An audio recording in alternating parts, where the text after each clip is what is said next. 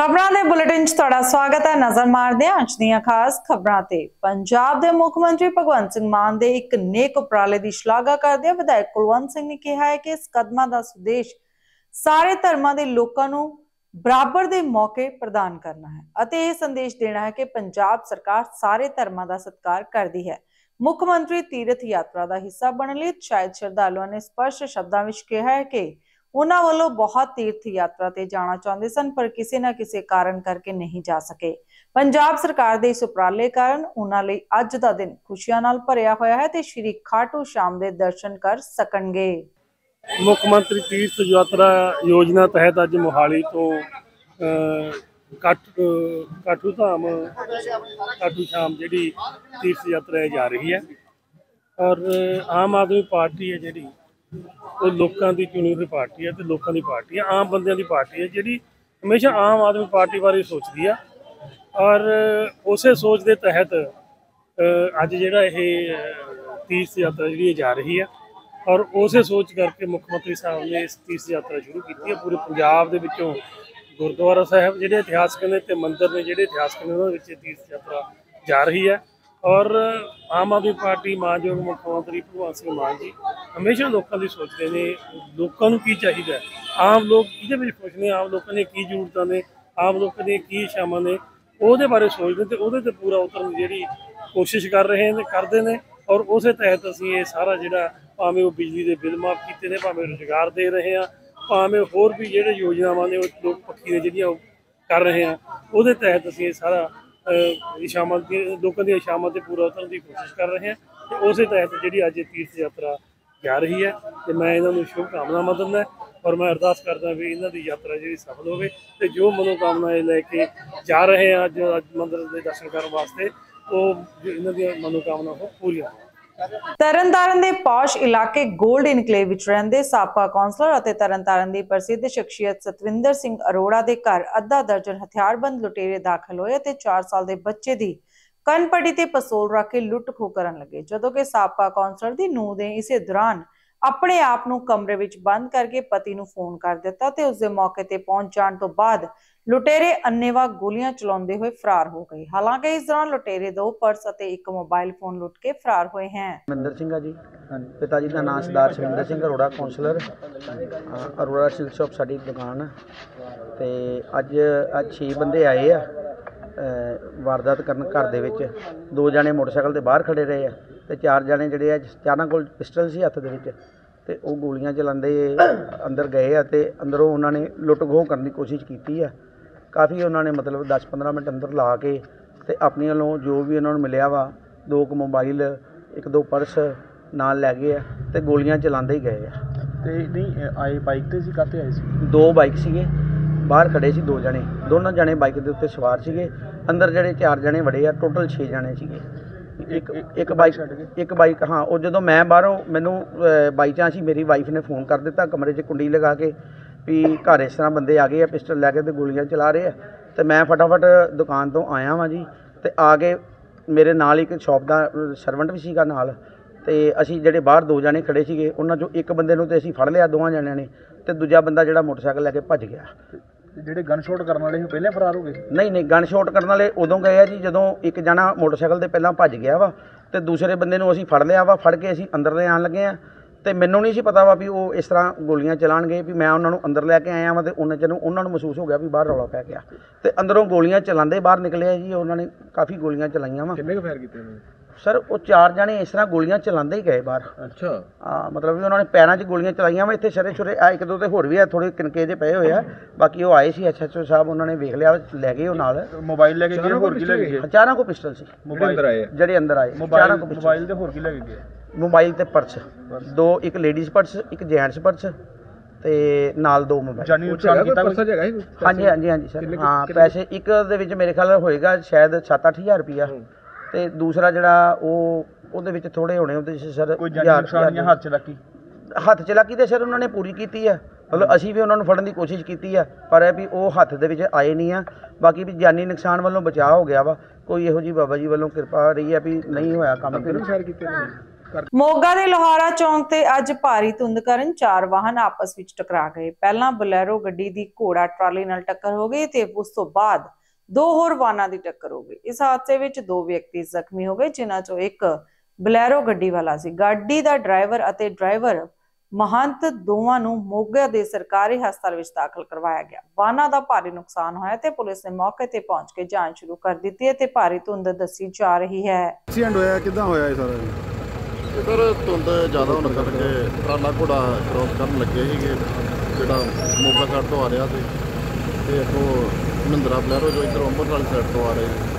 ਉਹ ਉਹਦੇ ਚ ਟਕਰਾਉਣ ਨਾਲ ਐਕਸੀਡੈਂਟ ਹੋਇਆ। ਪਿੱਛੋਂ ਦੋ ਗੱਡੀਆਂ ਆ ਰਹੀਆਂ ਸੀ ਉਹਨਾਂ ਦੀ ਆਪਸ ਵਿੱਚ ਟੱਕਰ ਹੋ ਗਈ। ਇਹ ਕਿੰਨੀਆਂ ਗੱਡੀਆਂ ਵੱਜੀਆਂ ਵਿੱਚ ਇਹ ਟੋਟਲ ਚਾਰ ਗੱਡੀਆਂ ਸੀ ਇਹ ਕੋਈ ਜ਼ਖਮੀ ਵੀ ਹੋਇਆ? ਹਾਂਜੀ ਬਲੈਰੋ ਵਾਲੇ ਦੋ ਜ਼ਖਮੀਆਂ ਜੀ ਉਹਨਾਂ ਨੂੰ ਹਸਪਤਾਲ ਪਹੁੰਚਾਇਆ ਗਿਆ। ਕਾਰਨ ਕੀ ਰਿਹਾ ਜੀ ਹਾਦਸੇ ਦਾ? ਕਾਰਨ ਧੁੰਦ ਜ਼ਿਆਦਾ ਹੋਣ ਕਰਕੇ ਟਰ- ਘੜੋ- ਘੋੜੇ ਵਾਲੇ ਸੀ ਇਹ ਕ੍ਰਾਸ ਕਰਨ ਲੱਗੇ ਸੀਗੇ। ਅਸੀਂ ਬਾਬੇ ਨਾਲ ਗੱਡੀ ਚਲਾਉਂਦੇ ਮੰਨਤਾ ਨਾਲ ਜੀ। ਤੇ ਅੱਜ ਕੀ ਹੋਇਆ ਤੁਹਾਡੇ ਨਾਲ? ਉਹਨਾਂ ਦੀ ਗੱਡੀ ਦਾ ਇਨਸੀਡੈਂਟ ਹੋ ਗਿਆ ਜੀ ਆਪਣੇ ਲਵਾਰਾ ਚੌਂਕ ਦੇ ਵਿੱਚ ਹੀ ਤੁਸੀਂ ਚਲਾ ਰਹੇ ਸੀ? ਹਾਂ ਅਸੀਂ ਚਲਾ ਰਹੇ ਸੀਗੇ ਜੀ। ਕਿਵੇਂ ਹੋਇਆ ਕਿਵੇਂ? ਇਹ ਉਹ ਆਉਂਦੇ ਸੀ ਆਪਣੇ ਮੋਗਾ ਸਾਈਡ ਤੋਂ ਅਸੀਂ ਆ ਰਹੇ ਸੀ ਆਪਣੇ ਆਹੀ ਕੀ ਉਹ ਕੋਟ ਹਿੱਸੇ ਖਾਣ ਨੂੰ ਆ ਰਹੇ ਸੀਗੇ।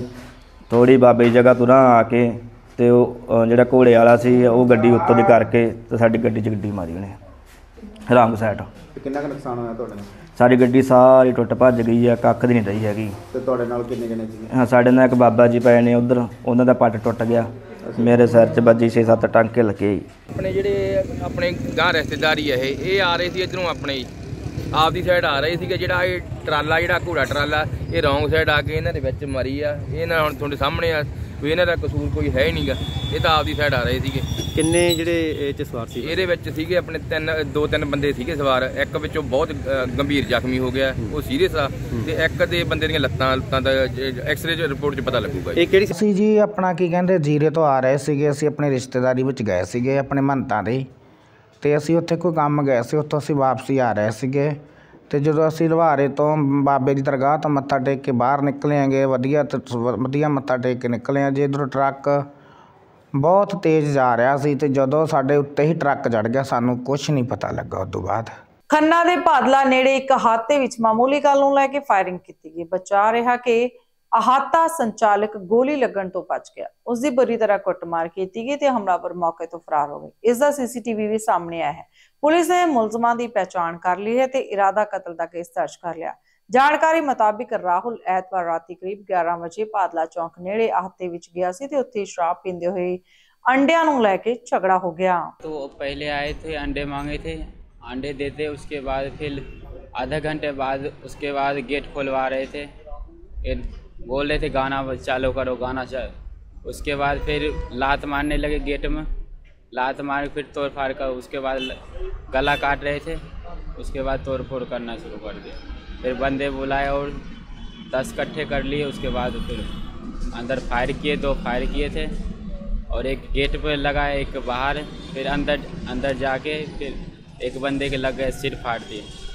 तो किसको चोट आई है? एक मेरे नाल का मुंडा कितनी चोट आई है उसको सिर बांध दिया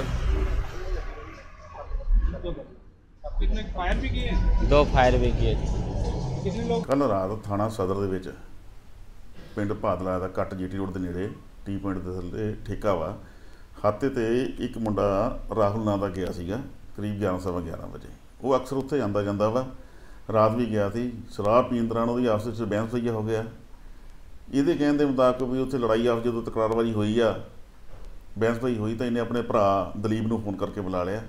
ਜਿਹੜਾ ਸਵਿਫਟ ਗੱਡੀ ਦੇ ਮੌਕੇ ਤੇ ਆਇਆ, ਉਹਦੇ ਕੋਲ ਲਾਇਸੈਂਸੀ ਰਿਵਾਲਵਰ ਆ, ਉਹਦੇ ਨਾਲ ਉਹਨੇ ਫਾਇਰ ਕਰ ਦਿੱਤਾ, ਜਿਹੜਾ ਹਾਤੇ ਦੇ ਗੇਟ ਦੇ ਉੱਤੇ।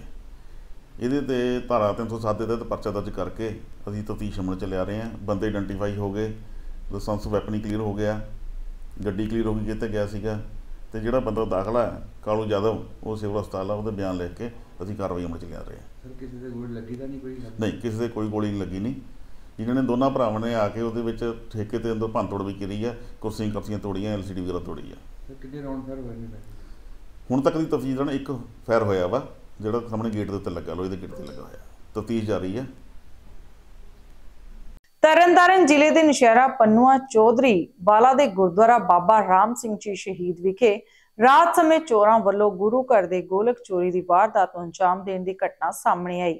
ਮੌਕੇ ਘਟਨਾ ਸਥਾਨ ਤੇ ਪਹੁੰਚੀ ਪੁਲਿਸ ਨੇ ਸੀਸੀਟੀਵੀ ਕੈਮਰੇ ਦੀ ਮਦਦ ਨਾਲ ਚੋਰ ਨੂੰ ਜਲਦੀ ਗ੍ਰਿਫਤਾਰ ਕਰ ਲਿਆ ਤੇ ਪ੍ਰਬੰਧਕ ਕਮੇਟੀ ਨੇ ਕਿਹਾ ਹੈ ਕਿ ਇਹ ਵਾਰਦਾਤ ਰਾਤੀ 12 ਵਜੇ ਦੇ ਕਰੀਬ ਦੀ ਹੈ। ਬੇਨਤੀ ਇਦਾਂ ਵੀ ਕਰੀਬਨ ਰਾਤ ਨੂੰ ਹੀ ਸਮਾਪਤੀ ਕਰਕੇ ਦਰਬਾਰ ਦੇ ਤਾਰੇ ਲਾ ਕੇ ਚਲੇ ਗਏ ਕਮਰੇ 'ਚ। ਸਵੇਰੇ ਆ ਕੇ ਕਰੀਬਨ ਅਸੀਂ 3:30 ਵਜੇ ਮੈਂ ਦਰਬਾਰ ਖੋਲੀਦਾ ਵਾ ਤੇ ਉਦੋਂ ਦਰਬਾਰ ਦੇ ਤਾਲੇ ਟੁੱਟੇ ਹੋਏ ਸੀਗੇ।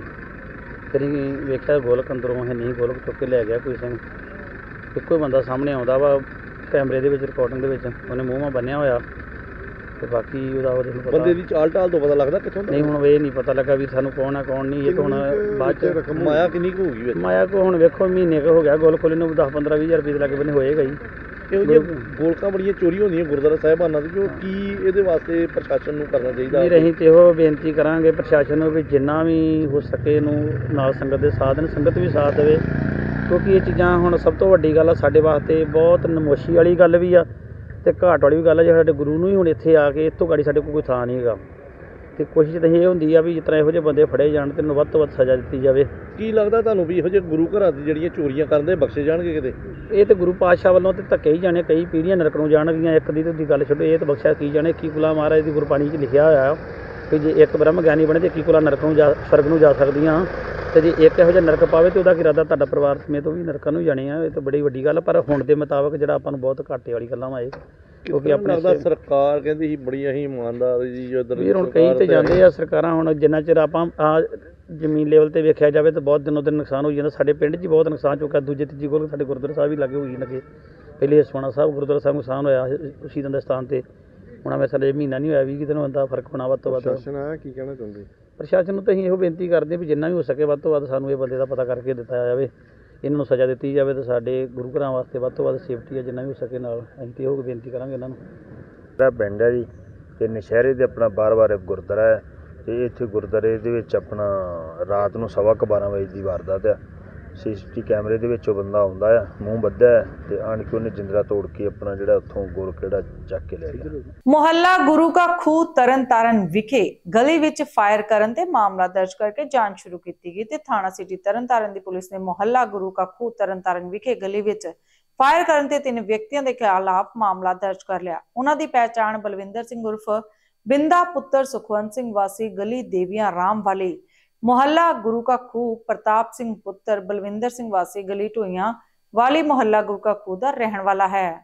ਕੀ ਹੋਇਆ ਜੀ ਗਲੀ ਦੇ ਵਿੱਚ ਬਾਹਰ ਦੇ ਜੀ ਪਤਾ ਨਹੀਂ ਆਪਾਂ ਤੇ ਖਾਣਾ ਖੁਣਾ ਖਾ ਕੇ ਅੰਦਰ ਬੈਠੇ ਸੀ। ਬਾਹਰ ਤੜਾ ਤੜਾ ਗੋਲੀਆਂ ਉਹਨੀਆਂ ਗੋਲੀਆਂ ਜਿੰਨੀਆਂ ਗਾਲਾਂ ਵਰੀਆਂ ਸੀ। ਸਾਰਾ ਮਹੱਲਾ ਬਾਹਰ ਇਕੱਠਾ ਹੋਇਆ। ਜਦੋਂ ਵੇਖਿਆ ਖੋਲ ਦੋ ਕੁ ਇੱਥੇ ਪਏ ਆ ਦੋ ਕੁ ਪਰਾਂ ਪਏ ਆ ਛੇ ਕੁ ਖੋਲ ਖਾਲੀ ਪਏ ਆ ਇੱਕ ਅੱਧਾ ਜਿੰਦਾ ਪਿਆ ਸੀ ਕਾਰਤੂਸ ਤੇ ਪੁਲਿਸ ਆਈ ਉਹ ਬਰਾਮਦ ਕਰਕੇ ਲੈ ਗਈ ਆ। ਪਤਾ ਲੱਗਾ ਪਰ ਕੌਣ ਸੀ ਜਿਹਨੇ ਨੂੰ ਇਹ ਨਹੀਂ ਪਤਾ ਕੌਣ ਸੀ ਪਰ ਦਹਿਸ਼ਤ ਦਾ ਮਾਹੌਲ ਬੜਾ ਬਣਿਆ ਪਿਆ ਵਾ। ਬੀਬੀਆਂ ਨੂੰ ਲੈ ਕੇ ਬੱਚੇ ਜਿਹੜੇ ਤਰਾਸ ਤਰਾਸ ਕਰਦੇ ਪਏ ਵੀ ਸਾਡੇ ਗਲੀ ਦੇ ਵਿੱਚ ਗੋਲੀਆਂ ਚੱਲੀਆਂ। ਕਿੰਨੇ ਕੁ ਬੰਦੇ ਜਿਨ੍ਹਾਂ ਨੇ ਗੋਲੀਆਂ ਚਲਾਈਆਂ ਕੋਈ 8-10 ਜਣੇ ਹੈਗੇ ਗੈਂਗਸਟਰ ਵਗੈਰਾ ਸੀਗੇ ਜਾਂ ਕੁਝ ਇਹ ਨਹੀਂ ਕਹਿ ਸਕਦੇ ਇਹ ਤੇ ਪੁਲਿਸ ਸ਼ਨਾਖਤ ਕਰੂਗੀ ਵੀ ਕੌਣ ਹੈ ਆ। ਪਰ ਗਲੀ ਮਹੱਲੇ ਵਾਲੇ ਸਾਰੇ ਐ ਬੱਚੇ ਤੋਂ ਲੈ ਕੇ ਸਿਆਣੇ ਤੱਕ ਸਹਿਮੇ ਪਏ ਆ। ਵੀ ਕੋਈ ਬੰਦਾ ਬਾਹਰ ਘਰੋਂ ਨਹੀਂ ਨਿਕਲਦਾ ਪਿਆ। ਮੇਰੇ ਸਾਹਮਣੇ ਇੱਕ ਐਨਆਰਆਈ ਆਇਆ। ਉਹ ਵਿਚਾਰਾ ਤਰਾਸ ਤਾਰਾ ਕਰਦਾ ਕਿ ਭਰਾਵੋ ਮੈਂ ਤੁਹਾਨੂੰ ਕਹਿੰਦਾ ਕਿ ਮੇਰੇ ਕੋਲ ਆ ਜਾਓ ਤੁਸੀਂ ਇੱਥੇ ਕਿਉਂ ਬੈਠੇ ਜੇ? ਆਹ ਮਾਹੌਲ ਬਣਿਆ ਪਿਆ ਵਾ। ਕੀ ਮੰਗ ਕਰਦੇ ਤੁਸੀਂ ਹੁਣ? ਮੰਗ ਇਹੀ ਆ ਵੀ ਜਿਹੜਾ ਦੋਸ਼ੀ ਹੈਗਾ ਉਹਨਾਂ ਨੂੰ ਸਜ਼ਾ ਦੇਣੀ ਚਾਹੀਦੀ ਹੈ ਸਰਕਾਰ ਤਾਂ ਕਹਿੰਦੀ ਹੈ ਕਿ ਅਸੀਂ ਸ਼- ਸ਼- ਗੁੰਡਾਗਰਦੀ ਖਤਮ ਕਰਦੇ ਪਏ ਹਾਂ ਤੇ ਲੱਗਦਾ ਵਾ ਗੁੰਡਾਗਰਦੀ ਖਤਮ ਹੋ ਗਈ? ਇਹਦੇ ਸਰਕਾਰ ਪਹਿਲੀ ਪੌੜੀ ਤੇ ਚੜੀ ਪੌੜੀਆਂ ਤੇ ਅਜੇ ਬੜੀਆਂ ਤਾਂ ਪਈਆਂ ਵਾ ਇਹ ਤੇ ਸ਼ੁਰੂ ਹੋਈ ਆ। ਮੈਂ Gurpreet Singh Goldy MC ward number 17 ਮੈਨੂੰ ਅੱਜ ਫੋਨ ਆਇਆ, ਤਕਰੀਬਨ ਪੌਣੇ ਕੁ 10 ਵਜੇ, ਸਾਡੇ ਮਹੱਲੇ ਦੇ ਵਿੱਚੋਂ ਵੀ ਗਲੀ ਵਸਨ ਸਿੰਘ ਵਾਲੀ ਦੇ ਵਿੱਚ ਕਾਫੀ ਗੋਲਾਬਾਰੀ ਹੋਈ ਆ। ਪਤਾ ਨਹੀਂ ਆ ਵੀ ਕੌਣ, ਮਤਲਬ ਝਗੜੇ ਆ, ਇਹਨਾਂ ਨੂੰ ਜ਼ਿਆਦਾ ਪਛਾਣ ਨਹੀਂ ਆਈ। ਤੇ ਮੈਂ ਪ੍ਰਸ਼ਾਸਨ ਤੋਂ ਇਹ ਬੇਨਤੀ ਕਰਦਾ ਵਾਂ ਵੀ ਜਿਹੜੇ ਵੀ ਬੰਦੇ ਇਹ ਗੁੰਡਾਗਰਦੀ ਜਾਂ ਮਾੜੇ ਅੰਸਰ ਆ, ਇਹੋ ਜਿਹਾ ਕੰਮ ਕਰਦੇ ਆ, ਉਹਨਾਂ ਦੇ ਖਿਲਾਫ ਕਾਨੂੰਨੀ ਕਾਰਵਾਈ ਕਰਨਾ। ਕਿੰਨੀ ਕੁ ਗੋਲਾਬਾਰੀ ਕਿੰਨੀਆਂ ਗੋਲੀਆਂ ਚੱਲੀਆਂ ਪਤਾ ਲੱਗਾ ਕੁਝ ਸਾਡੀ ਗਲੀ ਦੇ ਵਿੱਚੋਂ ਤਕਰੀਬਨ 5-6 ਖੋਲ ਜਿਹੜੇ ਆ ਪਿਸਟਲ ਦੇ ਉਹ ਕਈ ਸਾਹਿਬ ਉਹਨਾਂ ਨੇ ਬਰਾਮਦ ਕਰਾਏ ਆ। ਤੇ ਦੋ ਖੋਲ ਜਿਹੜੇ ਆ ਇੱਕ ਜਿੰਦਾ ਕਾਰਤੂਸ ਤੇ ਇੱਕ ਖੋਲ ਉਹ ਸਾਡੇ ਬਿੱਟਾ ਭਾਜੀ ਆ ਇਹਨਾਂ ਦੇ ਘਰ ਲੱਗੋ ਬਰਾਮਦ ਹੋਇਆ ਵਾ। ਪੁਲਿਸ ਪਹੁੰਚ ਗਈ ਮੌਕੇ ਤੇ ਜਾਂ ਕਿਦਾਂ? ਪੁਲਿਸ ਨੂੰ ਫੋਨ ਕੀਤਾ ਪਰ ਇਹ ਆ ਵੀ ਪਹੁੰਚ ਗਈ ਮੌਕੇ ਤੇ। ਥਾਣਾ ਗੇਟ ਹਕੀਮਾਂ ਦੇ ਇਲਾਕੇ ਵਿੱਚ ਨਸ਼ਾ ਵੇਚਣ ਦੇ ਦੇ ਵਪਾਰ ਦੇ ਧੰਦੇ ਨੂੰ ਲੈ ਕੇ ਦੋ ਧਿਰਾਂ ਵਿੱਚ ਝਗੜਾ ਹੋ ਗਿਆ ਤੇ ਇਲਾਕੇ ਦੇ ਲੋਕਾਂ ਦਾ ਕਹਿਣਾ ਹੈ ਕਿ ਆਏ ਦਿਨ ਇੱਥੇ ਲੁੱਟਾਂ ਖੋਹਾਂ ਹੋ ਰਹੀਆਂ ਤੇ ਨਸ਼ਾ ਧੜਾਧੜ ਵਿਕ ਰਿਹਾ ਹੈ ਤੇ ਦੇ ਵਪਾਰ ਦਾ ਧੰਦਾ ਵੀ ਚੱਲ ਰਿਹਾ ਹੈ। ਪਰ ਪੁਲਿਸ ਵੱਲੋਂ ਕੋਈ ਵੀ ਕਾਰਵਾਈ ਨਹੀਂ ਕੀਤੀ ਜਾ ਰਹੀ। ਉੱਥੇ ਪੁਲਿਸ ਅਧਿਕਾਰੀ ਮੌਕੇ ਤੇ ਜਾਂਚ ਸ਼ੁਰੂ ਕਰ ਦਿੱਤੀ ਹੈ ਤੇ ਪੁਲਿਸ ਅਧਿਕਾਰੀ ਨੇ ਦੱਸਿਆ ਹੈ ਕਿ ਅੱਜ ਫਿਰ ਇੱਕ ਧਿਰ ਵੱਲੋਂ ਦੁਬਾਰਾ ਝਗੜਾ ਕੀਤਾ ਗਿਆ, ਜਿਸ ਦੇ ਚੱਲਦਿਆਂ ਅਸੀਂ ਮੌਕੇ ਤੇ ਪੁੱਜੇ ਹਾਂ, ਪਰ ਸਾਨੂੰ ਕੋਈ ਵੀ ਮਿਲਿਆ ਨਹੀਂ ਹੈ। ਨਹੀਂ, ਰੇਡ ਨਹੀਂ ਆਪਾਂ ਇਹਨੂੰ ਕਹਿ ਸਕਦੇ। ਮਾਮੂਲੀ ਝਗੜਾ ਸੀਗਾ। ਕੱਲ ਇੱਕ ਦਰਬਾਰ ਸਿੰਘ ਨਾਮ ਦਾ ਬੰਦਾ ਆ। ਦੂਜੇ ਬੰਨੇ ਅਜੂ ਨਾਮ ਦਾ ਬੰਦਾ ਸੀਗਾ। ਇਹਨਾਂ ਦਾ ਮਹੱਲੇਦਾਰੀ ਤੌਰ ਤੇ ਆਪਸੀ ਝਗੜਾ ਹੋਇਆ ਸੀਗਾ। ਜਿਹਦਾ ਅਸੀਂ ਕੰਪਰੋਮਾਈਜ਼ ਕਰਾਤਾ ਸੀਗਾ ਕੱਲ ਹੀ। ਅੱਜ ਫੇਰ ਉਹਨਾਂ ਦੀ ਦਰਬਾਰ ਸਿੰਘ ਦੀ ਪਾਰਟੀ ਵੱਲੋਂ ਵੀ ਕੋਈ ਬੰਦਾ ਵਾ, ਜਿਹਦੇ ਨਾਲ ਦੂਜੀ ਪਾਰਟੀ ਦਾ ਝਗੜਾ ਹੋ ਗਿਆ ਵਾ। ਇਹ ਸ਼ੱਕ ਕਰਦੇ ਸੀਗੇ ਵੀ ਇਹ ਘਰ ਦੇ ਵਿੱਚ ਬੰਦੇ ਬੜੇ ਆ। ਉਹ ਅਸੀਂ ਮੌਕੇ ਤੇ ਆਣ ਕੇ ਵੇਖ ਲਿਆ, ਸਿਰਫ ਘਰ ਵਾਲੇ ਮਿਲੇ ਆ। ਹੁਣ ਇਹ ਕਹਿੰਦੇ ਬੰਦੇ ਭਜਾਤੇ ਆ। ਅਸੀਂ ਘਰ ਵਾਲਿਆਂ ਨਾਲ ਲੈ ਲਿਆ ਆ, ਮੈਂ ਦੱਸ ਰਿਹਾ। ਘਰ ਵਾਲਿਆਂ ਨਾਲ ਲੈ ਲਿਆ ਵੈਰੀਫਾਈ ਕਰਾਂਗੇ। ਜੇ ਇਹਨਾਂ ਦਾ ਕਸੂਰ ਹੋਊਗਾ ਕਾਰਵਾਈ ਕਰਾਂਗੇ ਨਹੀਂ ਹੋਊਗਾ ਨਹੀਂ ਕਰਾਂਗੇ। ਦੇਖੋ ਜਦੋਂ ਕੋਈ ਝਗੜਾ ਹੁੰਦਾ ਵਾ ਤੇ ਇੱਕ ਪਾਰਟੀ ਦੂਜੀ ਪਾਰਟੀ ਤੇ ਐਲੀਗੇਸ਼ਨ ਲਾਉਂਦੀ ਲਾਉਂਦੀ ਆ। ਇਹ ਸਾਨੂੰ 2 ਦਿਨ 4 ਦਿਨ 10 ਦਿਨ ਪਹਿਲਾਂ ਇਹਨਾਂ ਨੇ ਦੱਸਿਆ ਹੋਵੇ ਤੇ ਅਸੀਂ ਕਾਰਵਾਈ ਕਰਕੇ ਰਿਕਵਰੀ ਕਰਦੇ ਪਰਚਾ ਦਿੰਦੇ ਕਾਰਵਾਈ ਕਰਦੇ। ਇਹ ਤੇ ਆਮ ਗੱਲ ਹੈ ਵੀ ਜਦੋਂ ਕਿਸੇ ਦੇ ਕੋਈ ਝਗੜਾ ਹੁੰਦਾ ਤੇ ਇੱਕ ਦੂਜੇ ਤੇ ਐਲੀਗੇਸ਼ਨ ਲਾਉਂਦੇ ਆ। ਭਾਈ ਮੈਂ ਮੈਂ ਚੌਂ ਦਿਨਾਂ ਬਾਅਦ ਗੱਡੀ ਤੋਂ ਆਇਆ। ਮੈਂ ਇਹਦੀ ਲੰਘਦਾ ਪਿਆ ਸੀ। ਇਹ ਭਾਜੀ ਮੇਰੀ ਗੱਲ ਸੁਣ ਗੁੰਡੇ ਬਦਮਾਸ਼ ਜੋ ਇੱਧਰ ਰਹਿੰਦੇ ਆ ਚਿੱਟਾ ਵੀ ਵਿਕਦਾ ਵਾ। ਜਨਾਨੀਆਂ ਦੀ ਵੀ ਬਲੈਕਮੇਲ ਹੁੰਦੀ ਇੱਜ਼ਤ ਲੁੱਟੀ ਜਾਂਦੀ ਆ ਮਤਲਬ ਕਿ ਜੋ ਧੰਦਾ ਚੱਲਦਾ। ਇਹਨਾਂ ਮੇਰੇ ਘਰ ਮੁੰਡੇ ਪਵਾਤੇ 5500 ਰੁਪਈਆ ਤੇ ਮੇਰਾ ਫੋਨ ਹੈ ਜਿਹੜਾ ਕੱਢ ਕੇ ਲੈ ਗਏ ਤੇ ਆ ਘੇਛੀ ਹੋਣਾ। ਕੌਣ ਤੁਹਾਡੀ ਕੋਈ ਰੰਜਿਸ਼ ਸੀ ਪੁਰਾਣੀ? ਨਹੀਂ ਜੀ ਕੋਈ ਰੰਜਿਸ਼ ਨਹੀਂ। ਤੇ ਕੀ ਖੋ ਮਾਰ ਹੋਈ ਤੁਹਾਡੇ? ਹਾਂਜੀ ਖੋਹ ਮਾਰ ਹੋਈ ਆ ਜੀ 5500 ਰੁਪਈਆ ਤੇ ਫੋਨ ਵੀ ਲੈ ਗਏ ਨਾਲ ਮੇਰੇ ਦਾਤਰ ਮਾਰ ਗਏ ਆ ਜੀ। ਤੇ ਕੀ ਇਨਸਾਫ ਕੀ ਚਾਹੁੰਦੇ ਪੁਲਿਸ ਕੋ ਇਨਸਾਫ ਇਹੋ ਚਾਹੁੰਦੇ ਆ ਮਾਰੇ ਵੀ ਇਹ ਮਿਹਨਤੀ ਬੰਦਿਆਂ ਦੇ ਆ ਕੰਮ ਜਿਹੜਾ ਮਹੱਲੇ ਚੋਂ ਬਿਲਕੁਲ ਗੰਦ ਖਤਮ ਕੀਤਾ ਜਾਵੇ ਇਹਨਾਂ ਘਰਾਂ ਨੂੰ ਇਥੋਂ ਕੱਢਿਆ ਜਾਵੇ ਜੀ। ਥੱਲੇ ਥੱਲੇ ਬਹਿ ਕੇ ਇੱਥੇ ਭਟਕਾਉਂਦੀਆਂ ਆਪ। ਇੱਥੋਂ ਬਣਾ ਕੇ ਕੁੜੀਆਂ ਤੇ ਬੋਰਡ ਥੱਲੇ ਭਟਕਦੀਆਂ ਵਾ। ਤੇ ਕੰਦਾ ਚਾਉਂਦੀਆਂ ਬੰਦੇ ਵਾੜ ਹੁਣ ਵੇਖੋ ਨਾ ਦੇ ਸਮਾਨ ਫੜਿਆ ਗਿਆ ਅੰਦਰੋਂ ਤੇ ਖੋਲੋ ਨਹੀਂ ਗਿਆ ਜਾਂ ਨਾ ਫੜਿਆ ਜਾਊਗਾ ਤੇ ਬੂਆ ਨਹੀਂ ਖੋਲਦੀਆਂ ਬੂਆ ਖੋਲਣ ਸੱਚੇ ਆ ਨਹੀਂ ਦੋਸਤੋ ਇਹ ਸਨ ਸਾਡੀਆਂ ਅੱਜ ਦੀਆਂ ਖਾਸ ਖਬਰਾਂ। ਨਵੀਆਂ ਤੇ ਤਾਜ਼ਾ ਖਬਰਾਂ ਦੇ ਨਾਲ ਤੁਹਾਡੇ ਸਾਹਮਣੇ ਫਿਰ ਤੋਂ ਰੂਬਰੂ ਹੋਵਾਂਗੇ। ਤਦ ਤੱਕ ਲਈ ਮੈਨੂੰ ਯਾਨੀ ਕਿ ਤੇਜਿੰਦਰ ਕੌਰ ਨੂੰ ਦਿਓ ਇਜਾਜ਼ਤ। ਰੱਬ ਰੱਖਾ।